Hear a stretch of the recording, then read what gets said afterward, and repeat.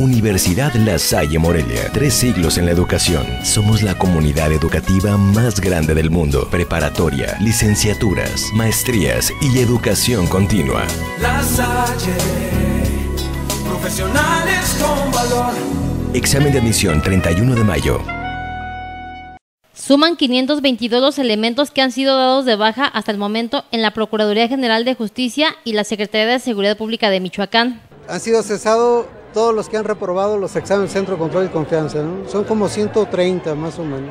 Por la Secretaría estamos en 392 personas que fueron dadas de baja en, en esta etapa.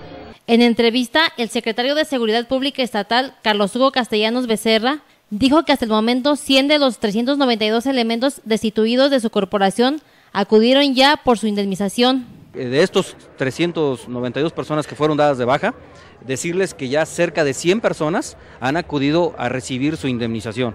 Entonces estamos hablando de que no todos son manifestaciones y no todos están en contra de esto, ¿no? sino también que hay personas que han acudido ya a recoger su indemnización constitucional. Recalcó que la depuración de la corporación a su cargo continuará en forma permanente.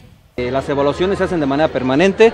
Eh, hay dos tipos de evaluaciones, que la, que se cumple el periodo. El periodo que marca la ley general es de tres años, es la vigencia de los exámenes. Después viene un periodo que se llama, o evaluaciones extraordinarias, que pueden ser una prueba toxicológica eh, que puede ser sorpresiva y también que está uno con estas posibilidades. Entonces, en cualquier momento, las personas cuando no acrediten pueden ser dados de baja. Carlos Hugo Becerra informó que la Secretaría de Economía trabaja en un proyecto que permitirá en breve contratar a varios de los elementos despedidos de las fuerzas de seguridad del Estado.